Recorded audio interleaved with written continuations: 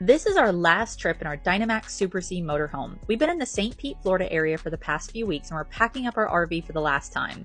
After nearly two years of living and traveling in this motorhome, we decided it was time for a change. Honestly, this was not something that we planned. We attended the Florida RV Super Show two weeks ago, and after touring literally hundreds of different RV types and floor plans, we fell in love with a new RV model. We arrived at General RV in Tampa and will be trading in our beloved Tammy for a new RV that we were able to score an incredible deal on. We had to clear everything out and move it into the new one, which is a lot more work than we thought it would be since it's our full time home.